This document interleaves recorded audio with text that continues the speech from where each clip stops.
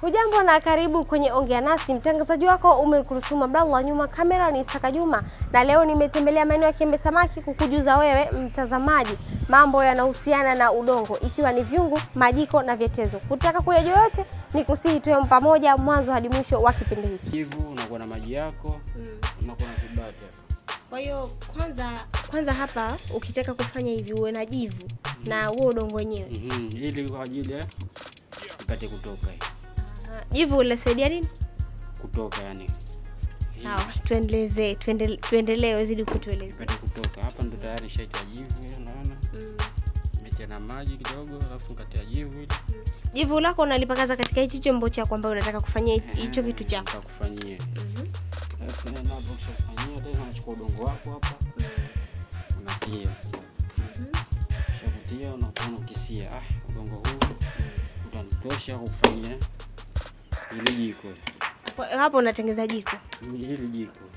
Inakuwa. Na step zake unapita step moja moja. Ndipo mpaka nakuwa jiko tayari kwa kwenda kutiwa kwenye nini lenye hapa tena napiga hapa kidogo Napiga, napiga. Mpaka ikae level. Unakisia ah hii level yangu tayari hapa. Naitaka hii hapa naika sawa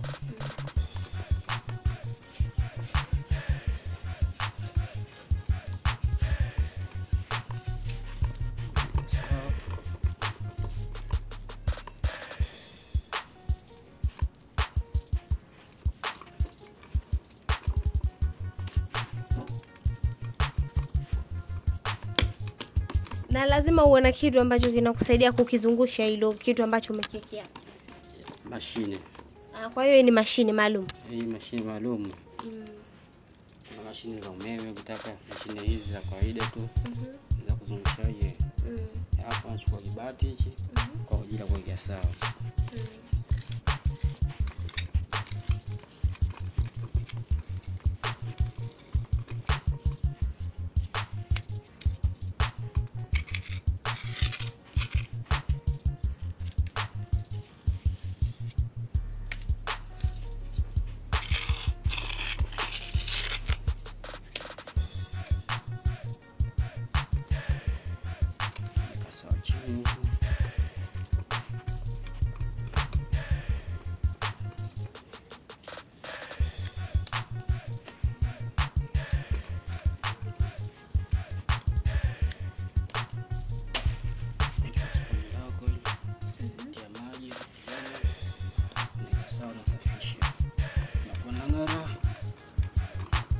Sasa kufanya hivyo linasaidia kitu gani? Hili kung'arisha, yani kuweka sawa, yani lisiwe na shimo, lionekane zuri.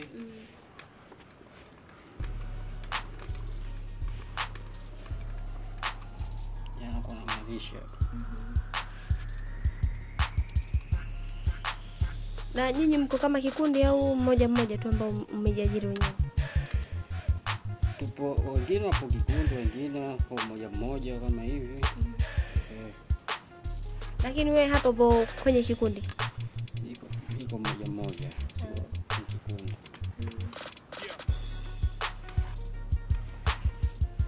Hapo nakuwa tayari, hapo nakuwa step hiyo ishakwisha. Hapa tayari tena unaweza kwenda ukaleka kama pale kama lilivyo lile unaona? lile pale unaweza kuliberua, lakini ah, ukitaka unaweza ukatoboa kabisa Ukatoboa kivipi? Tueleze kidogo, kutoboa vipi? Na hizo tobo ambazo unataka kutu, utoboa hapo, kuna kitu ambacho kunatoboa au kuna nini ambacho umetumia? kipo kitu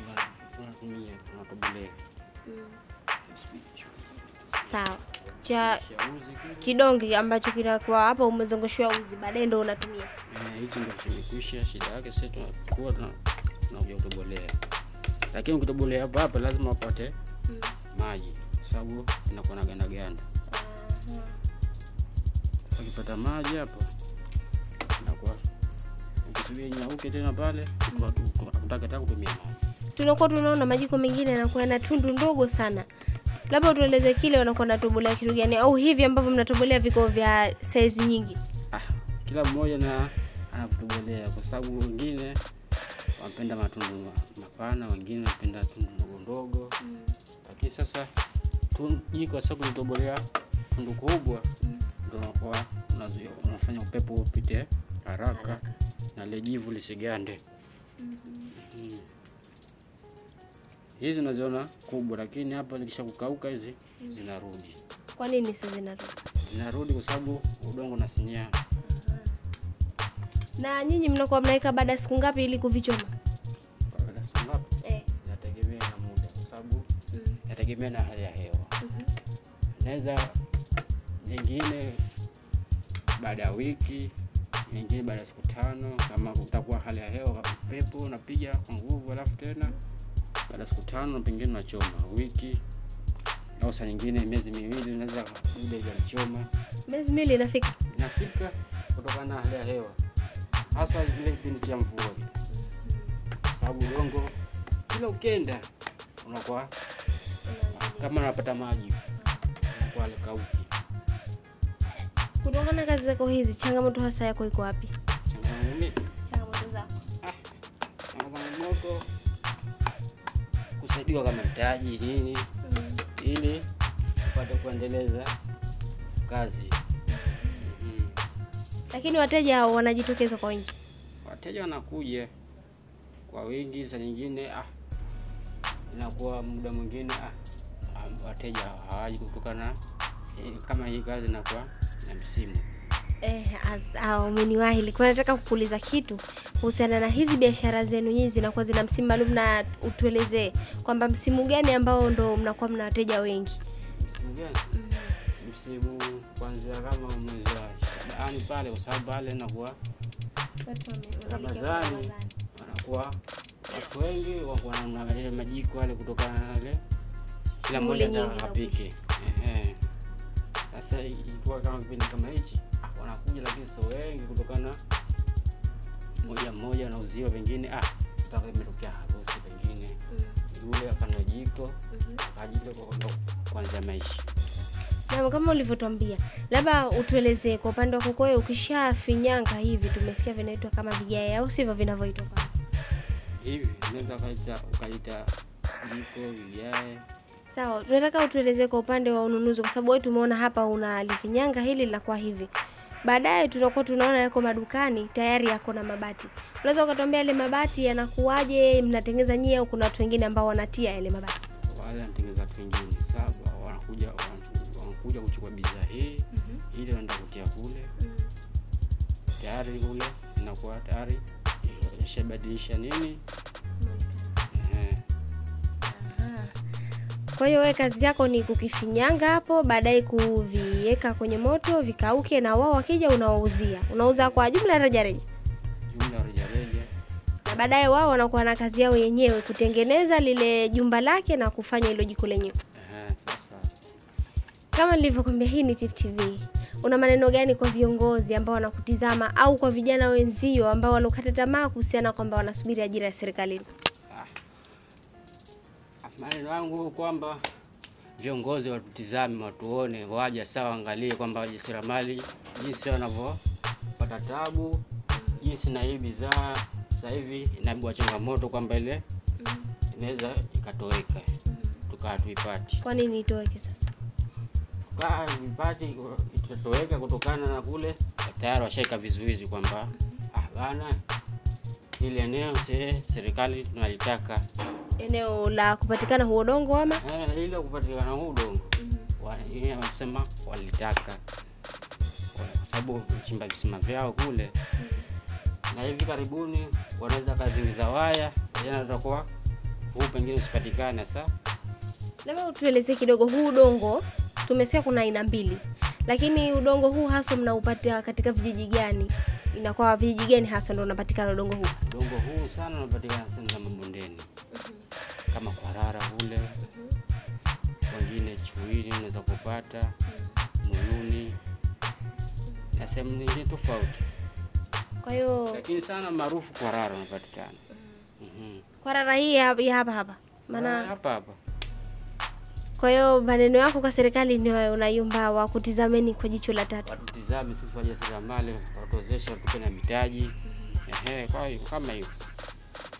Basi mimi nikwambie shukrani sana, asante sana kwa muda.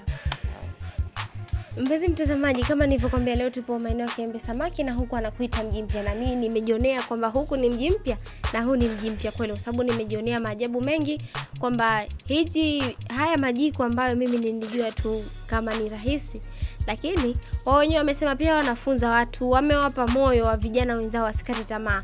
Pia wameiomba serikali kwamba waweze kuwapatia mitaji na pia waweze kuwashajihisha kwa sababu wao wamejiajiri wenyewe.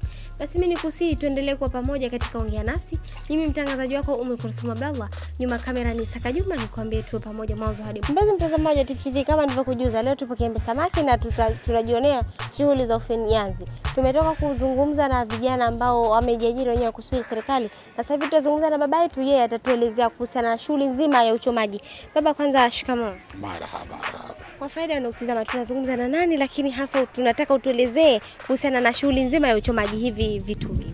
Uh, unazungumza na Hamidi Juma Sheha, mkazi wa Kiembe Samaki, ni mjasiriamali kupitia njia hii ya kutengeneza chaga. Uh, Kwa hiyo hili hili la kuchomea linaitwaje? Hili linaitwa tanuri tu uh -huh. la kuchomea chaga au mengine madongo, yote majina yao yanatumika. Sasa kidogo nimepata neno geni, hii chaga, tueleze kwa ufupi ni kitu gani hasa? Chaga mfano wake ndo kama hii uh -huh. eh, hii wengine wanaita chaga, wengine wanaita dongo, yote majina nayo mawili yanatumika. Kwa upande wa uchomaji kuna kwa kuna utaalamu gani ili hivi viungu vi, visi, visipasuke ama hivi majiko au tuelezee kuhusiana na uchomaji unakuwaje? Uchomaji kwanza, unatafuta mzigo wako mmoja wa kuni. mm -hmm. Kuni ilikuwa sio mapande, kuni za saizi tu, unazipanga pembeni pembeni, na nyingine unaweka katikati, alafu unapanga na makumbi. Ukishamaliza hapo, unaanza kuchukua chaga, unaanza kuzipanga. Kila ukipanga raundi ya kwanza, pembeni unaweka makumbi, raundi ya pili unaweka tena makumbi, utakuja zako mpaka raundi nne. Wakati huku unapanga, katikati unakuwa unaacha tundu ile tundu mazumuni yake ni kuja kutia moto. Wakati tayari ushafika mwisho, usema hapa mimi sasa ndio mwisho, ndio unatia moto katika ile tundu, alafu unaziba tena kwa dongo, basi Yani wakati unavipanga uache nafasi. nafasi katikati eh. Tangu unapanga katikati, unaacha nafasi ya kuja kutilia moto. Kwa utakwenda mpaka utafika juu. Ukishafika juu, ndo utachukua moto wako wa makaa au kama makumbi ya moto yale shakolea, ndo unanyunyiza Inakuwa kama umepambia. Eh, kama umepambia sasa, ule moto akikutana na yale makumbi kule chini yanakolea, yanakolezwa kutokana na hii milango, hakuna kupepea tena. Ukishamaliza juu, unafunika mapande ya mabati ili moto usipotee, mapande kama haya na unaweka juu ili moto usipotee. Basi unaenda kufanya kazi zako nyingine.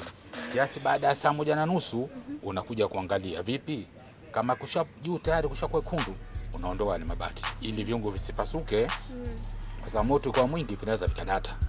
Kwa hivyo naviwahi ule moto usije kwa mwingi sana. Kwa hivyo napunguza alima mabati juu, unafanya kazi zako nyingine. Ushamaliza kiasi, baada ya masaa mawili vishapoa, unakuja na nondo ambayo imepindwa hivi, ndio natoa Unatoa hicho ulichokitia kimoja kimoja. kimoja kimoja, natoa kama nakamata nondo mbili, kwa hivyo natoa huko na huko au kama na mwenzio mna nondo zenu mbili au watatu, kila mtu nondo mbili, kwa hivyo anatoa, anaopoa, anaweka pale eh. Tumeona kuna baadhi ya zana nyingine ambazo zimechomwa, tunaona kama zimepasuka. Linakuwa tatizo gani ambalo linapelekea mpaka vikapasuka hivi? Tatizo linatokezea ni upepo.